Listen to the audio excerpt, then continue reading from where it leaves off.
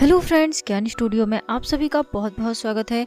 दोस्तों, यदि अभी तक आपने मेरे चैनल को सब्सक्राइब नहीं किया है तो नीचे दिए रेड कलर के सब्सक्राइब बटन पर क्लिक करना बिल्कुल ना भूलें।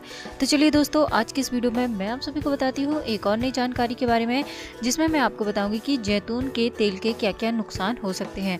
वैसे तो दोस्तों, जैतून का जो तेल होता है, वह आपकी स्किन के लिए, आपके बालों के लिए और आपकी सेहत के लिए बहुत ही फ़ायदेमंद होता है, लेकिन कई बार कुछ ऐसी कंडीशंस होती हैं, जबकि आप इसका सेवन करते हैं तो इससे आपको कुछ नुकसान भी हो सकते हैं। तो चलिए दोस्तों, जानते हैं कि इसके क्या क्या ऐसे साइड इफ़ेक्ट्स हो सकते हैं। जैतून का तेल यदि किसी को एलर्जिक रिएक्शन हो सकता है, यानी कि यदि किसी को जल्दी रिएक्शन होता है या फिर किसी चीज़ से एलर्जी होती है तो आप जैतून के तेल का सेवन मत करिए, या फिर आपके साथ ऐसा भी हो सकता है कि आपको जैतून के तेल से एनर्जी हो जाए तो आप इसका सेवन ना करें। इसके अलावा जैतून का जो तेल होता है स्किन पर यदि आप इसका बहुत ज़्यादा इस्तेमाल करते हैं तो इससे आपके स्किन पर मुहासे निकल सकते हैं, क्योंकि ये जो तेल होता है काफ़ी ज़्यादा ऑयली होता है।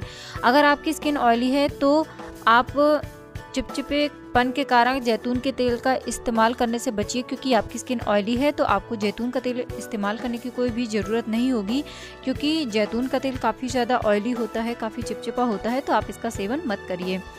इसके अलावा जैतून का तेल बहुत ही शुष्क त्वचा के लिए काफ़ी अच्छा विकल्प नहीं होते, यानी आपकी स्किन बहुत ही ज़्यादा ड्राई है। तो भी आप इसका सेवन मत करिए। इसके अलावा ऑलिव ऑयल की अधिक खपत, रक्तचाप में भारी गिरावट पैदा कर सकती है, यानी कि जिनको उच्च रक्तचाप की शिकायत होती है, उनके लिए फ़ायदेमंद होता है। लेकिन यदि आप इसका बहुत ज़्यादा सेवन करते हैं तो इससे आपके रक्तचाप में कमी आ सकती है।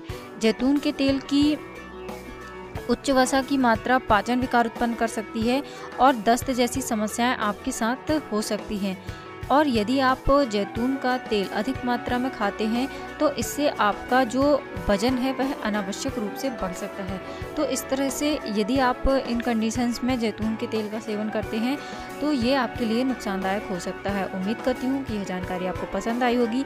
यदि यह जानकारी आपको पसंद आई है तो आप इस वीडियो को लाइक कीजिए शेयर कीजिए और वेलाइकन को भी दबाइए, ताकि इसी तरह के वीडियो को नोटिफिकेशन सबसे पहले आपके पास तक पहुँच सके।